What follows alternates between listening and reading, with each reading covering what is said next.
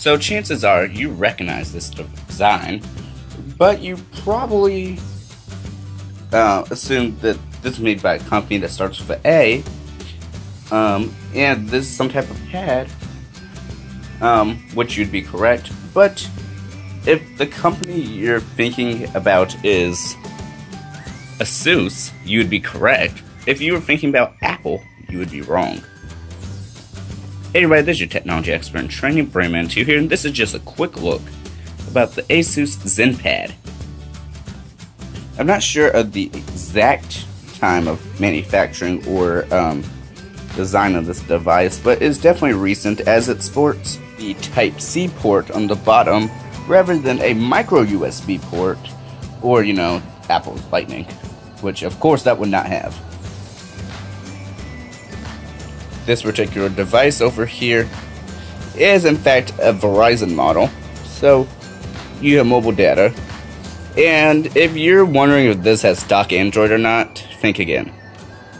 It may have a simplistic interface, similar to that, sort of of the iPad, but um, but ASUS's is nowhere near stock Android whatsoever.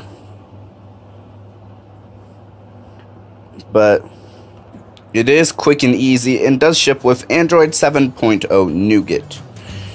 Well, at least that's what's running right now. Although I think it actually shipped with Android 6.0 um, Marshmallow, if I'm not mistaken.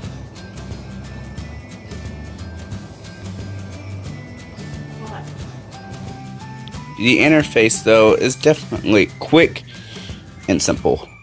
And it actually took me a while to figure out where exactly how to get to the Wi Fi, which it was simple after an update. Um, it is now up here, but before that was kind of hidden and took a very long time to find. Um, like I mentioned before, this is a very simplistic tablet that can probably do a lot. And it, from what I have used it um, over um, the last week or so, it's a pretty good tablet, which shares a design with another particular very famous tablet.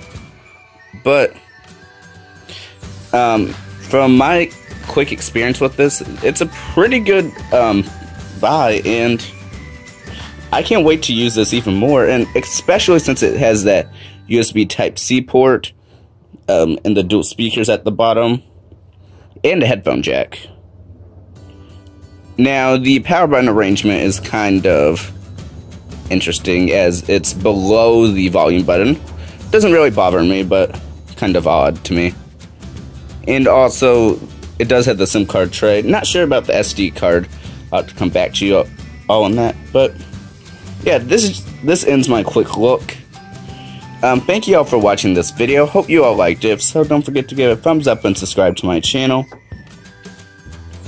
And I'll have to catch you on the next one. This has been the Asus ZenPad Z10.